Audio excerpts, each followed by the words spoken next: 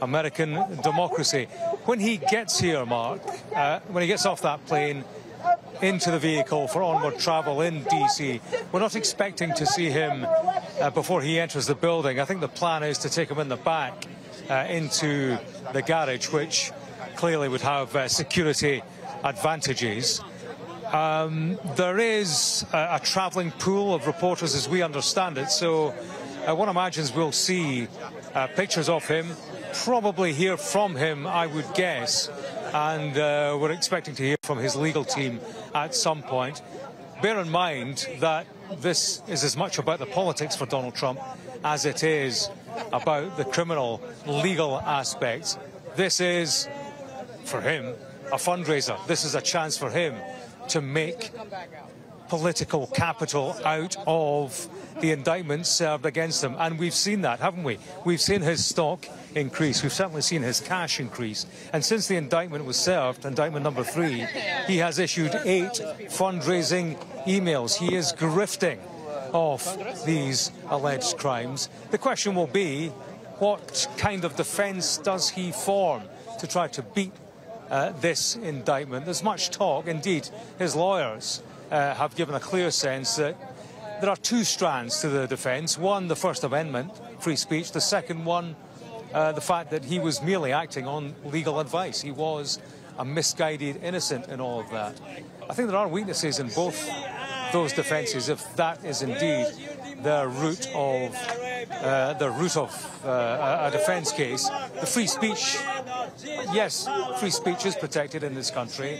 When it comes to speaking on a street corner about which political party you think people should vote for, but free speech, free speech is a crime when it is wired in to the commission of a crime when it is part of a conspiracy, people getting together and conducting speech that relates to the commission of a crime, the planning of a criminal enterprise. So that's the weakness on that one. In terms of acting on legal advice alone as a, an innocent, then what lawyer is going to step forward and say, yeah, uh, I advised my client that it was okay to lie, that it was okay to lean on officials at state and federal level to subvert democracy, to submit false slates of electors, and essentially, you know, conduct a criminal enterprise. Uh, I would wager that very few lawyers will would take any part of that. And uh, an interesting point by association is, you know, there are six uh, co-conspirators named on the indictment. Four of them are attorneys. Which of them, I wonder, are going to stick with Trump and testify on his behalf? Or how many of them will actually flip, will turn away from Trump and say, look, uh, I actually don't fancy the rest of my life in jail. I'm going to tell prosecutors exactly what was said in our private meetings. And you imagine the good money on that would be on lawyers testifying against Donald Trump. James, uh, well, thank you very much. Very interesting point you make there because, um, well, what about the position of Mike Pence, his uh, um, vice president, uh, running mate now running against him? Uh, big question as to whether he would. Um, and he's, he's, heavily features in the indictment as a question about whether he would actually give uh, evidence against uh, Donald Trump in court. Well, talking us through the events in court this evening is uh, Michelle Bradford, a former prosecutor for the US Attorney's Office uh, for the District of Columbia. Um, thank you very much. Uh, uh, for talking to us, Michelle. Well, I mean, this court appearance will make history. Um, uh, we can say, I assume, that these are the most serious charges he faces of the three indictments thus far.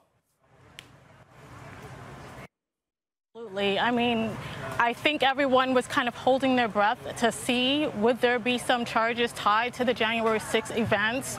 This indictment gets to the heart of that. Certainly, conspiracy to defraud the United States is one of the most serious charges you can face in the criminal justice system. And so it seems like this indictment is really going after the heart of the matter. It's not just dealing with ancillary matters such as the documents, the classified documents. This is dealing with the heart of the actions that led to the January 6th um, riots. Right. And I mean, serious because as you suggest, it's about undermining democracy in the United States um, using lies that the prosecution is going to suggest that he knew were lies and uh, about this fraudulent election? Um, a lot of throughout the indictment, there are quotations used.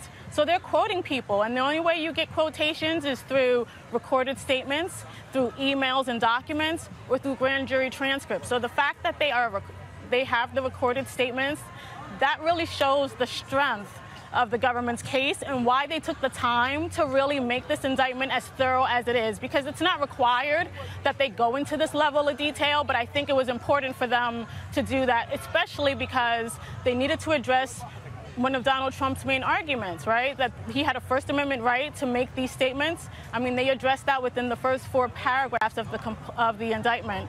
That this is not about him complaining or being unhappy with the election. This is not about him making statements that the election was rigged and unfair. This is about a concerted series of actions that he took along with the co-conspirators to undermine our uh, democratic election. Yeah, and it's interesting. There are legal experts who are saying that it, you know, it may not be that easy to make these charges stick. That prosecutors have to prove beyond a reasonable doubt that Trump knew there was uh, no fraud, and to prove that is quite difficult. You know, it is hard to prove fraud because a lot of it rests on the defendant's intent. But I think that's why this indictment is so thorough. And I think that's why the prosecutors took the time to really lay out conversations, to lay out details. We know that there were conversations that were happening. We know that there were documents that were being drafted to aid in this scheme, this alleged scheme. And so while conspiracy cases are hard to prove typically, the fact that they have so much concrete evidence is really going to assist them in proving the case beyond a reasonable doubt. Now, that doesn't mean there's a guarantee. I'm sorry, there's a musical parade walking by us right now, so I'm going to let them pass. Don't worry, we can hear you. Um, so it does not it does not mean it's going to be easy by any means, especially in the District of Columbia you have a very savvy jury pool. And this jury pool will expect the government to prove its case. And the fact of the matter is, Donald Trump doesn't have to prove anything. He has no burden as a defendant in our criminal system. He could sit the entire trial and not put up one witness, not cross examine anyone. The government has the absolute burden of proof to prove its case beyond a reasonable doubt. That said, there are sufficient allegations in this indictment that, if they can prove them, may help the government prove its case. Yeah, and uh, I mean, the, in the indictment, there's a lot from Trump's inner circle, certainly. But I saw uh, Trump's lawyer, John Lauro, on um, television in America, and he said, he said this, uh, Michelle, I would like to see them try to prove beyond a reasonable doubt that Donald Trump believed that these allegations about voter fraud were false. I'd like to see them try to prove that. Well, based on the allegations in the indictment, they, we know how they're going to try to prove that. They point to conversations by um, political officials in almost all of the seven states that were targeted. And those officials are quoted or given detailed statements to the effect that we told Donald Trump this had no merit. They point to statements by members of his, um, his own inner staff, his inner circle, people who were saying, there is no merit to this. We are not finding the widespread fraud that you are alleging. So, yes, he can say, well, I didn't know, but the government is going to be able to call those witnesses to the stand who will say, we told Donald Trump that there was no merit to his claims. Okay, and just very briefly, and um, finally for now, what do you think will happen to him uh, when he gets to court? I mean, are we going to go through fingerprints, mugshots, all that kind of stuff? He probably won't do a mugshot, but he probably will be fingerprinted in the in the courthouse. They have a booking area where you walk through the booking process. Then he will go up to the court the courtroom, um, and the arraignment is really a, a typically a pretty short proceeding where, in this case, because he's indicted, uh, the judge will ask whether he wants a formal reading of the indictment. Most defendants waive the formal or full reading of the indictment, and she will ask his attorney to enter his plea. And we expect in this case he will enter a plea of not guilty to each of the four charges. then a new date will be set for the for the parties to appear before the district court judge. The magistrate judge will address issues of release. I expect in this case that he will be released on his personal recognizance. He is a defendant in um, several other proceedings, and it doesn't seem that there's any reason to think he is a flight or a danger to the community. So he will likely be released um, and return for his next court date, which will be before the assigned district court judge. OK, Michelle, thank you very much uh, indeed. I think we're joined now by Bill McGinley, former Cabinet Secretary in the Trump administration. Uh, indeed, we are. Um, Bill, thank you very much for uh, talking to us. And, well, I suppose it's another difficult day for Donald Trump. Uh, sure. I mean, anytime you you you you you have to be arraigned in federal court after a federal indictment has been handed down against you by a grand jury, it's not a good day. Um, but I think, as we've seen with the previous indictments, both by the Manhattan DA and also by um, the special counsel's team down in the in the city of Miami, um, you know, Donald Trump has been able to politically inoculate himself with Republican voters and actually try and turn it into a strength, not a weakness. Um, these are very serious charges, but I think his team is is making the best, doing the best that they can uh, to help him remain politically viable in the Republican presidential nominating process. I mean, they are serious charges. They're basically about lies, lies to the American people. That's the accusation. I just wonder whether this might be the, the day that Trump's lies catch up with him. Well, you know, it's it's interesting because there's a lot of um, First Amendment case law, both from the Supreme Court and the federal courts, um, that the government of the United States, um, under the First Amendment, is not allowed to be the arbiter of truth. Now, the indictment lays out a lot of um, witnesses who were either before the grand jury or potentially the January 6th committee, who I believe shipped all their evidence over to Jack Smith's office, um, talking about how they told the former president um, that there was no evidence of fraud that could stand up in court um, that they were finding post election. Um, the issue is is that uh, the First Amendment does protect um, some pretty robust speech, including some caustic speech that may not be tethered um, in the truth. There was a statute in the state of Ohio that prohibited false statements about other candidates that was struck down on uh, First Amendment grounds. So I do think that the defense team is going to take a serious look uh, at the evidence and probably file some motions to exclude evidence uh, or have some of the charges thrown out that may be based on false statements. Um, and we'll see it work th- its way through the courts. It may eventually reach the Supreme Court. Yeah, I mean, the, one of the problems, I guess, for him is that the indictment is quite detailed, including um, uh, material from his own people um, within the White House who seemed to know that he was, you know, that he was lying. It seems quite clear. I mean, the campaign advisor who said this is conspiracy stuff uh, hand, handed down from the mothership. Uh, one of his White House counsel uh, a lawyer said, There is no world, there is no option in which you do not leave the White House on January the 20th. So, I mean, that's all pretty awkward for Donald Trump. Uh, look, I don't disagree with that at all. Um, one thing I can say is that, you know, this is the uh, opening bell um, of this trial. Um, defense counsel is not allowed in the grand jury room. Defense is not allowed to present evidence in the grand jury. Uh, the indictment is written by the prosecutors. So this is one of their best shots at laying out their case and trying to establish the narrative uh, through a speaking indictment, as your previous guest just said.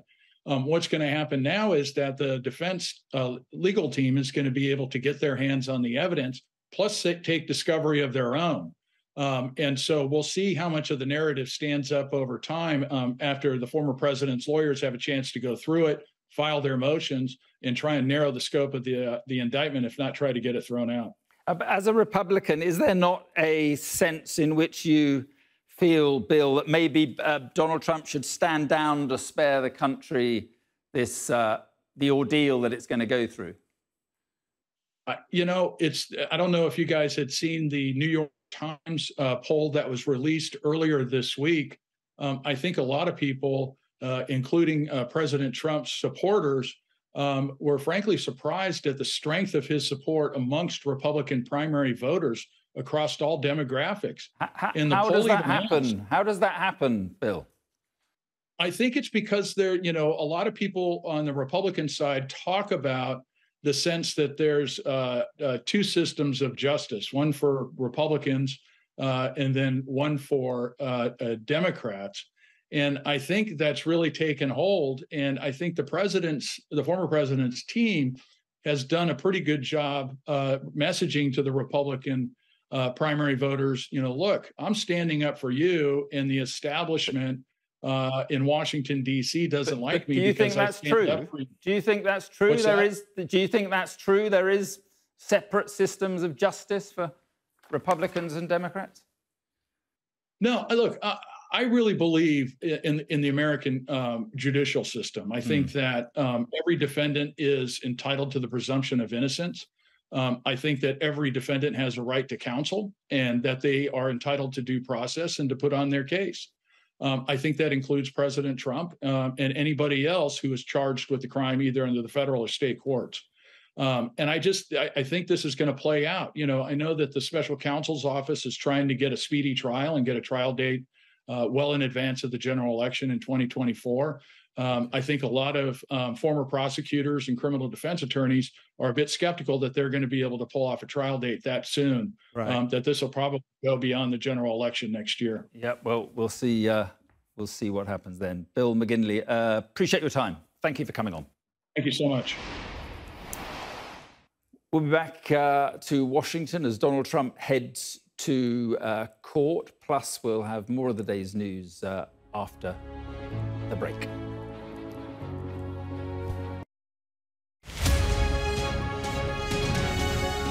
It completely contradicts what she stands for. So, from a reputational perspective, it's it, it's a she's in a really bad position. It's very hard. So, I have clients who have also faced legal situations, and we are very, very heavily managed by the legal team. So, we have some legal teams who are far more understanding of how desperate the celebrity and the PR team would generally be to get something out because silence from a general public perspective is really frustrating and they're desperate to hear the other side of the story.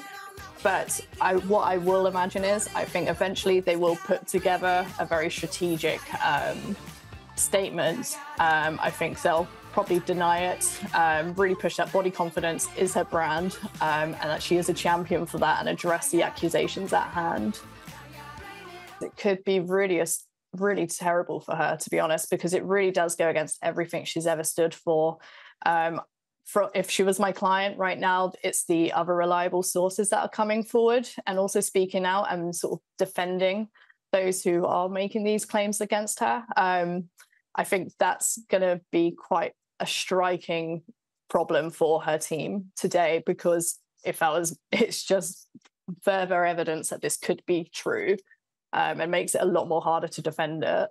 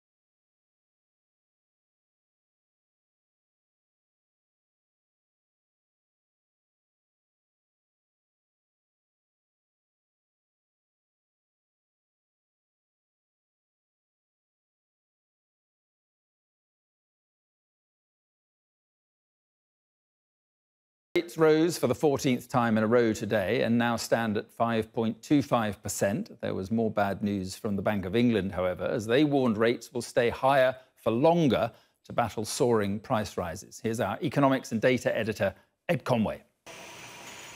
Hanging by a thread.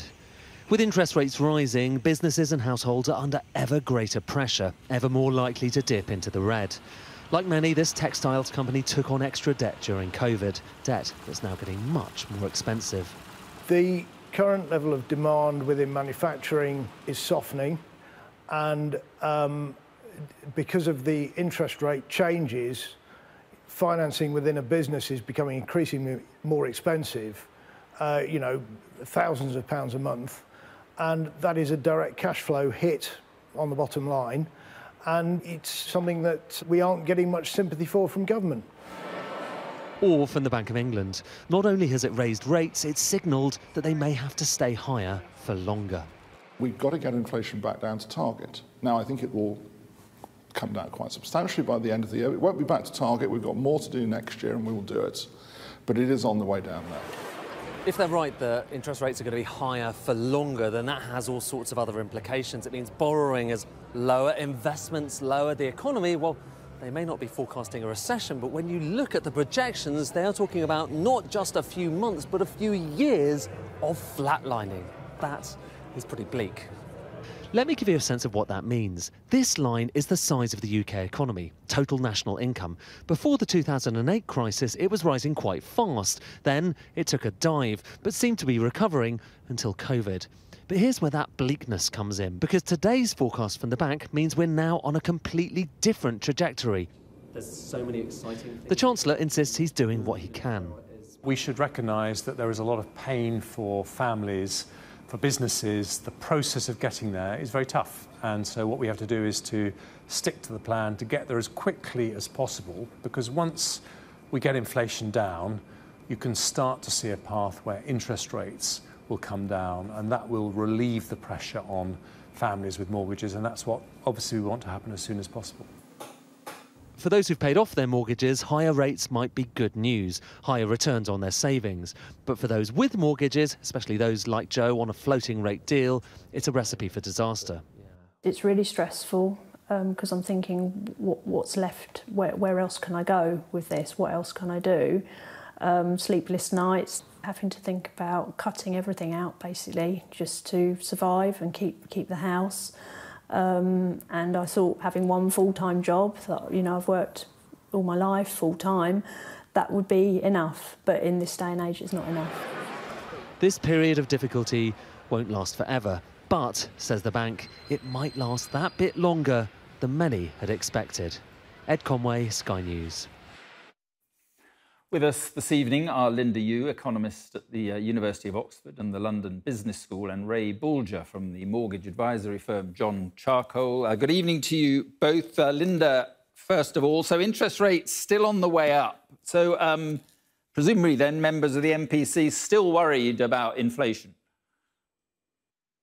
They are. So the rate of inflation has slowed. But if you look at core inflation, which is the underlying measure of how much prices are rising, because that strips out energy and food from the headline CPI figure, I mean, that figure is close to 7%. And that's why uh, they have said that they, uh, you know, are likely uh, to have higher rates for longer until inflation starts to slow. Now, this is something which other central banks are also facing. I should say the Fed and the European Central Bank both raise rates, but unlike the UK, they seem to have slightly better core inflation. So they have signaled that uh, rates may have peaked in the US and in the Eurozone. But just to underscore, Mark, how uncertain it is, the European Central Bank President Christine Lagarde when asked, Is this it? she replied, It's a decisive maybe. So that just tells you how uncertain um, inflation is at the moment. Yeah, but uh, peak soon. Where? I mean, what? Where do you think they will peak? Well, at the moment, at 5.25%, there probably will be another increase. Uh, the markets are expecting by the end of the year or so, so that takes it to five and a half. Markets are expecting that in the spring of next year, and this has fluctuated quite a lot. It could, at one point, um, it was forecast to reach about six and a half percent. With slowing inflation, um, especially in the latest figures, that's come down a bit, but we're still talking somewhere between where we are now and possibly over 6%. Right. So that range, of course, is familiar to people who remember the economy before 2008 when yeah. average interest rates were 5% but that is quite a that's quite a change from what we had over the past decade it certainly is and with that in mind ray uh, what does it mean then for those with mortgages particularly those with decisions to make about you know whether to fix or not Well, the, the, good news in terms of the fixed rate front is that the market had fully anticipated this quarter point rise in bank rate, and there's been very little change in the cost of funds since the decision. So I don't think we will see much change in the prices for two and five year fixed rate mortgages. If you've got a big deposit, two-year fixed rates start at about 5.9% and five-year fixed rates at about 5.4%. And it looks like those rates are going to stay pretty well the same until we get some more data. So the key thing to watch is going to be when we get the next inflation figures, um, depending on what they say, the market will then start to anticipate what the Bank of England is going to do. But for the next couple of weeks, I think uh, people can expect mortgage rates to, to stay broadly unchanged. If you've got a tracker, of course, obviously you're going to see your rate go up by a quarter of a point. If you're on a discount from standard variable rate, you may or may not see the full impact of the increase because as rates have increased, many lenders have not been increasing their standard variable rate as much as bank rate. Um, so the only people who are definitely going to see an increase after this change are those on a tracker. Well, it's interesting. I know uh, some uh, people who have opted for trackers in the hope that rates will you know, come down next year and and uh, you know the year after. But the, uh, that, from the sound of it, may not necessarily happen.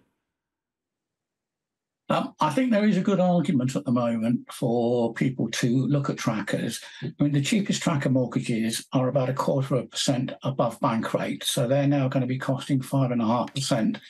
Compare that with a two-year fix, which will cost you close to six percent. So you can afford to see bank rate go up another half point before you're worse off. And the chances are bank rate's going to start to come down before the end of two years. And of course, if you're in a tracker, most tracker deals don't have any early repayment charges. So you can then decide to stay with it as rates come down or lock into a fixed rate when you think the time is right. Yeah. So whereas for most of the last 10 years or so, the choice has been whether to take a two or five year fixed rate. I think now the choice is more do you take a tracker or a longer term fixed rate? Uh, it's interesting. Um, Linda, so it's the uh, 14th increase in a row. Just finally, are they giving the interest rate rises that have already happened enough time to have an effect? Because, I mean, there must be a drag.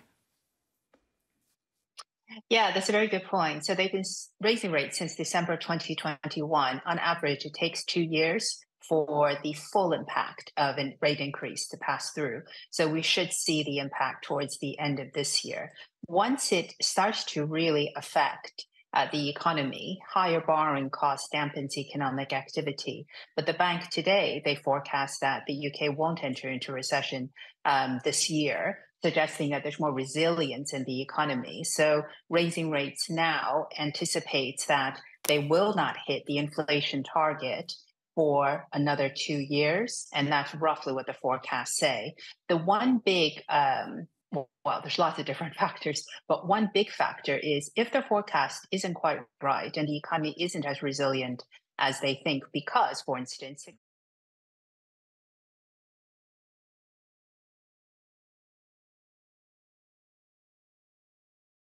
Join the conversation. Put your comments and suggestions below in the comment section. Thank you for subscribing to this news channel. You will be notified of any breaking news and new post as you become part and parcel of the TAO Media family. Please like and share TAO Media. We love you all. Please support TAO Media Foundation by joining membership and visiting Amazon UK to purchase the displayed books to aid our orphanage projects across Africa.